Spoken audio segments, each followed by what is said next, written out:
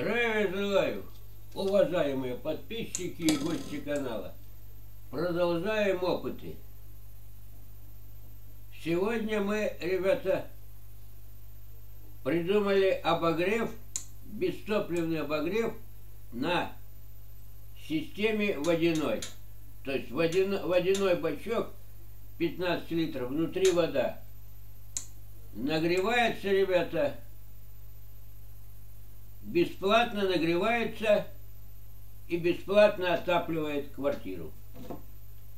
Ночью я его попробовал в спальне, чтобы не было разговоров.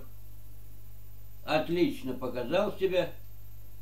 Расход тока, ребята, у него ноль. Так как мы поставили на реле Амрон, нагрев поля Сейчас подскажу. 66, видите, 66,9, 67, а сверху, а сверху, ребята, больше, 70, 79, то есть тепло идет больше наверх. Ну, здесь, в общем, почти 70 градусов. Расход тока нулевой. Вот он. Расход тока ноль. То есть взял, вот он взял, даже не видно, блин. Ага, вот. Видите, взял, прошла и вернулась назад сразу. И стоит вот она. Можно даже померить на ватметре, как вы любите. Ватметр, ребята, вообще ничего не... Вот ватметр, ребята. Ноль, видите, ноль ватт.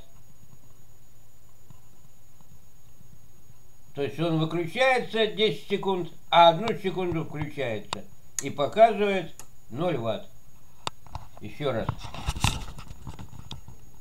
Так как ваттметр, ребята, еще хуже, значит, работает по сравнению с индукционным. Ничего не фиксирует. Подаем, значит, на него ток в течение одной секунды. Ничего нет. Почему?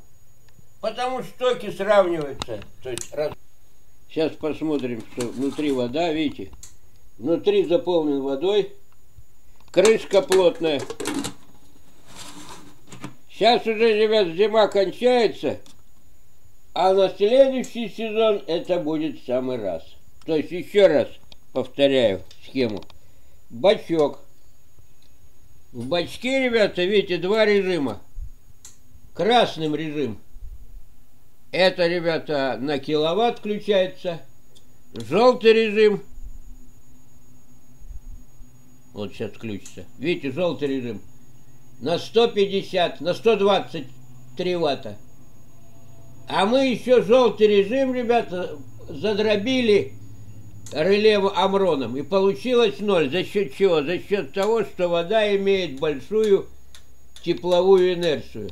То есть все токи, которые обратные токи, все токи уходят в воду. Значит, схема, видите, ставим на желтый режим. Это режим поддерживания. И применяем реле Амрон. 1 к 10. Один включим. Также проверяем ваттметр, любимый рептилоид. Итак, схема бачок.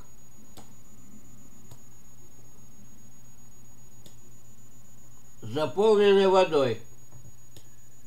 Вот так. Значит, здесь у нас, ребята, тен под, под крышкой вот здесь. На 1 киловатт. 1 киловатт тен. Не внутри воды, а под крышкой, что он не задевает воду. Бачок, ребята, разогревается, значит, снаружи, снутри я не мерил, у меня нету этой. Сейчас покажу. 69 градусов. Вот это поле, ребята, 69. Со всех боков. 69 градусов Цельсия. Так, а верхнее поле, верхушка, 79. 79. То есть примерно 70 градусов что вполне хватит, я проверял для отопления. Далее Тут два режима. Режим 1 киловатт и режим, ребята, 120 я мерил, 123 ватта где-то. Режим поддерживания. Мы ставим, и тут выключатель, мы ставим кнопку на режим поддерживания, то есть на желтый. Красное это полное включение, а это, ребята, на поддерживание тепла. А нам же не надо кипятить. Хотя и на желтой, ребята, он может закипеть. Если убрать режим, значит, импульса, реле убрать, он закипит и на желтой. Только чуть дольше. Дальше. И реле Амрон. Значит, реле Амрон у нас показывает, как видите, а, одна секунда мы подаем питание, питание, и 10 секунд не подаем. То есть, смотрите, получается, что у нас 123 ватта, ребята, 123 ватта разделить на 10. 12,3 ватта бы было потребление, но ток отходит назад. Почему? Потому что ТЭН, ребята, имеет большую тепловую энергию реактивную. И поэтому ток намного больше, чем мы сюда подаем. И когда мы закрываем вот здесь, все токи возвращаются сюда, чтобы получше нагреть. А вот эти, которые здесь остались, возвращаются в сеть. То есть расход 0 ватт, 0 ватт. 0 ватт, ребята. Тоже показывает электронный счетчик, о, этот ваттметр электронный 0 ватт. Тоже показывает счетчик правильный. Индукционный, ребята, счетчик верный и правильный. Он показывает правильно. То есть он показывает, что мы что-то взяли и показывает, что что-то вернули. А ваттметр, ребята, не показывает ничего. Потому что он не может даже показывать в режиме импульса. Он, значит, не способен. На режим импульса он не способен. То есть электроника, ребята, сильно отстает по сравнению с индукционными верными приборами. Значит, расход 0, обогрев, то есть обогревность этого обогрева хватит на объем комнаты до 50 кубов.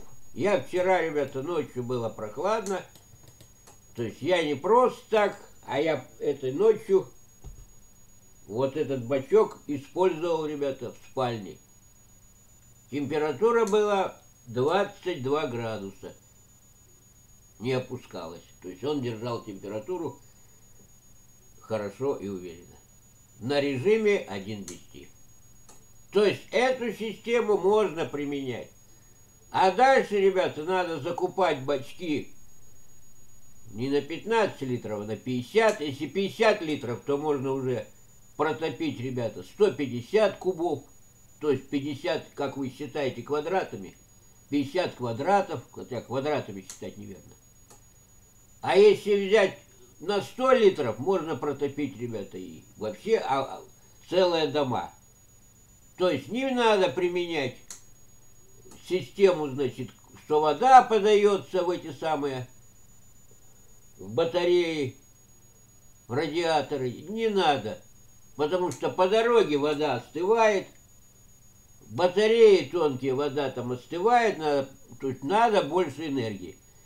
А здесь получается вода в большом объеме, в бачке, и методом умножения она сама разогревается, имея большую тепловую инерцию и большое умножение. Не забывайте, что и тут идет скважность 1 к 3 минимум, и обратно идет большая тепловая инерция.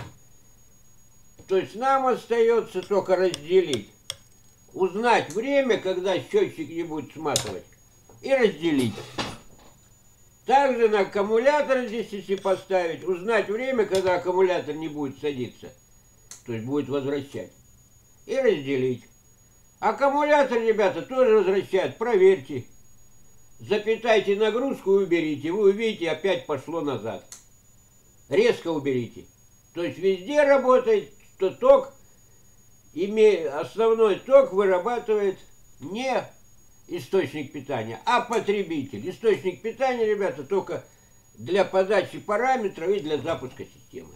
Благодарю за внимание, всем стального здоровья и удачи.